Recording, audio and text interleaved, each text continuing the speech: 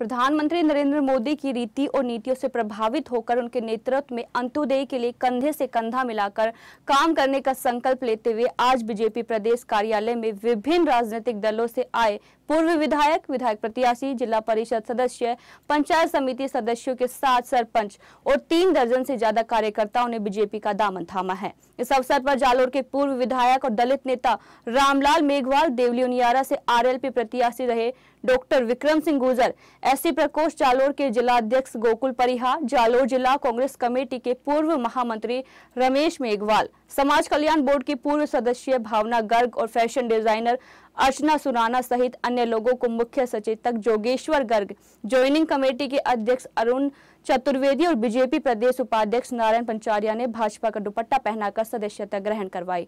सदस्यता ग्रहण करवाने का कार्यक्रम को संबोधित करते हुए ज्वाइनिंग कमेटी के अध्यक्ष अरुण चतुर्वेदी ने कहा कि पीएम नरेंद्र मोदी के नेतृत्व में हम सभी का एक ही नारा है अब की बात चार पार। पीएम मोदी के 10 वर्षों के सुशासन में आम आदमी का जीवन सरल हुआ है। समाज में अंतिम छोर पर बैठे व्यक्ति के उत्थान के लिए सैकड़ों लोग कल्याणकारी योजनाएँ चलाई जा रही है।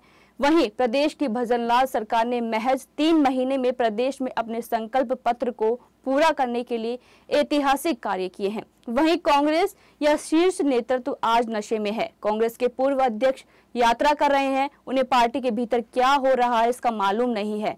इस अवसर पर बीजेपी के प्रदेश महामंत्री दामोदर अग्रवाल, श्रवण सिंह बगड़ी और प्रदेश मीडिया संयोजक प्रमोद वशिष्ठ मौजूद रहे।